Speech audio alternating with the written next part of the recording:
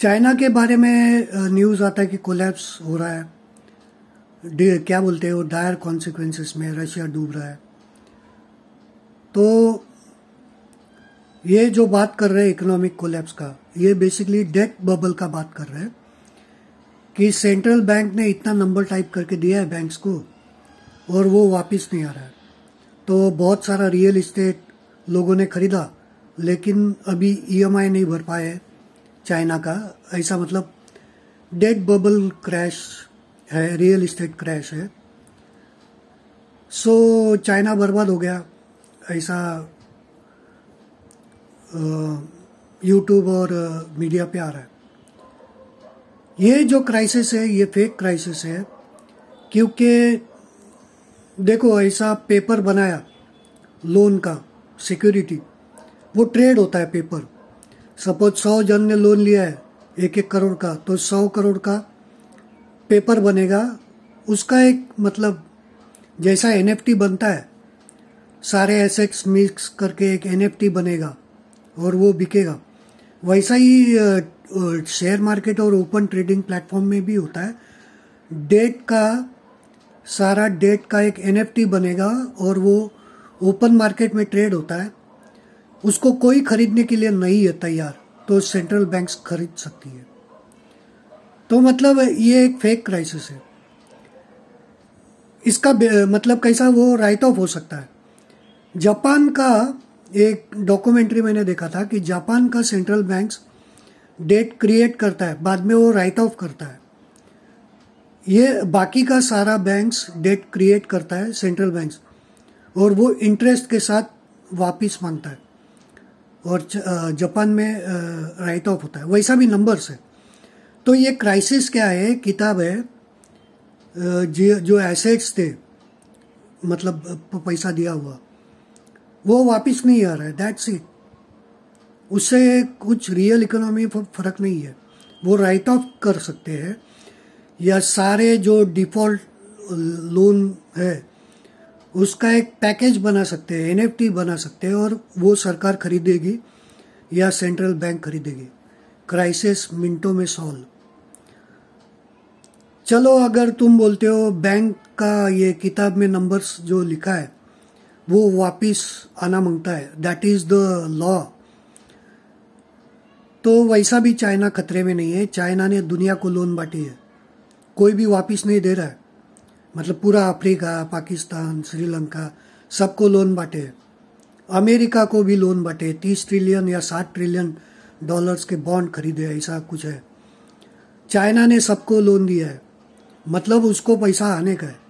और जो लोन वापस नहीं देता है तो फिर ज़मीन दे, ये दे, ये हमारा इंस्टीट्यूट इधर डाल, वैसा कॉम्प्रोमाइज़ होता है। तो China is in a very strong position ये जो खबरें आ रही है बेस्ड ऑन ए बुक एक किताब में नंबर्स टाइप केला ज़्यादा हो गया है, और वो वापस नहीं आ रहा है तो ख़त्म हो जाएगा।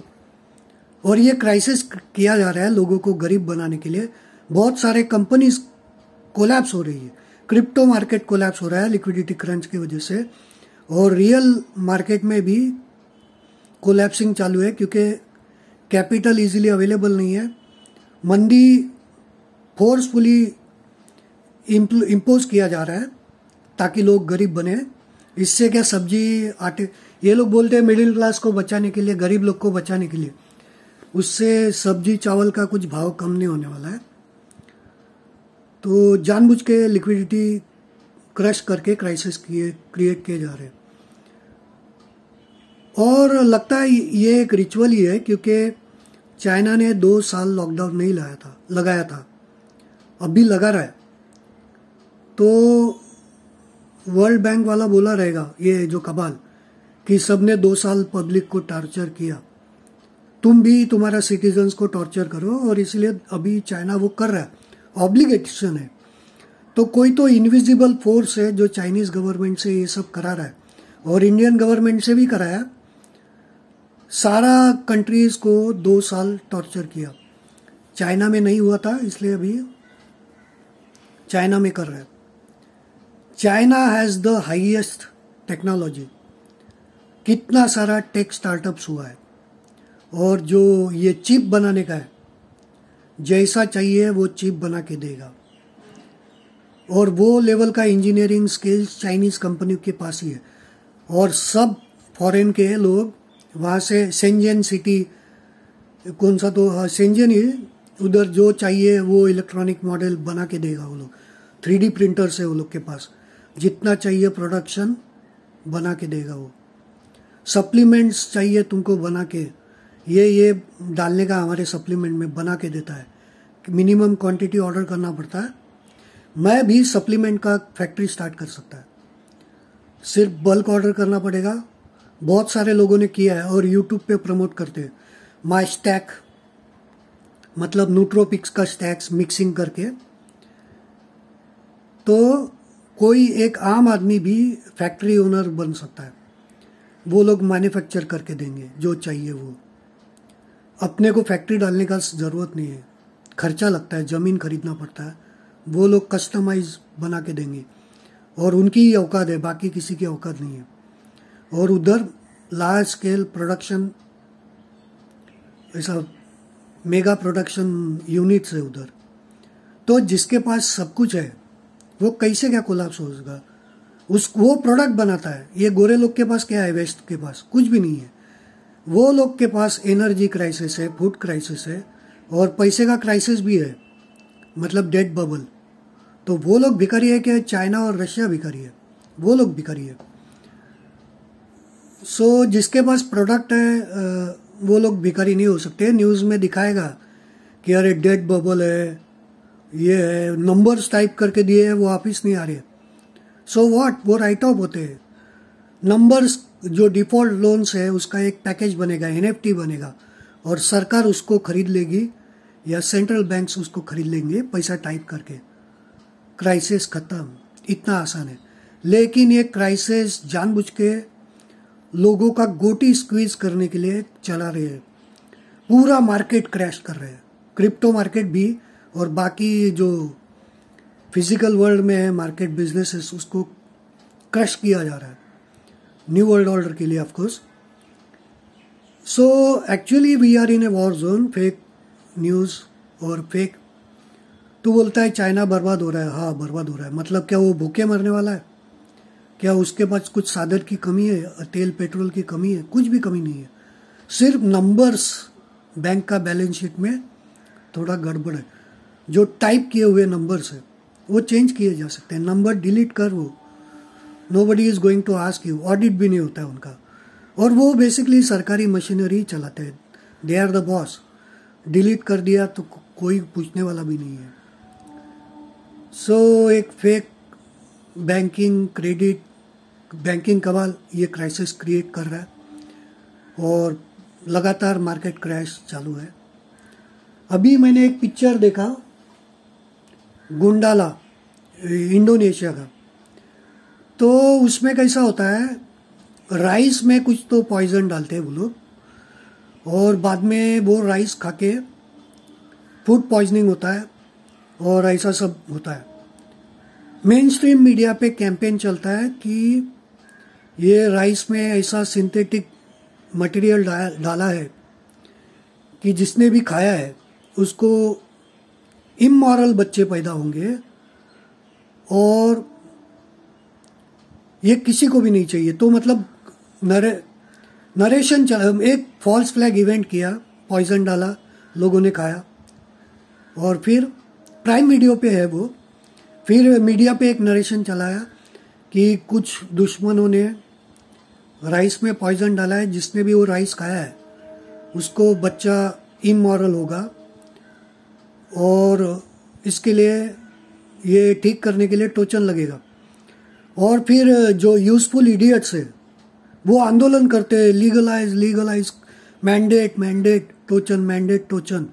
और ऐसा एक प्रोपेगेंडा चलाया जाता है लीगलाइज लीगलाइज और पॉलिटिशियन वो लीगलाइज करते हैं। तो मतलब यूजफुल इडियट्स का आंदोलन में यूज़ होता है। ये नरेटिव बनाने के लिए कि अगर वो सब्सटेंस किसी औरत ने खाया है तो उसको इमोरल बच्चे पैदा करेंगे और सॉल्यूशन है टोचन और बेसिकली टोचन से बर्थ डिफेक्ट और ये करने का प्लान था कपाल का। तो सच में ऐसा कुछ इनविजिबल इनविजिबल फोर्स है who are trying to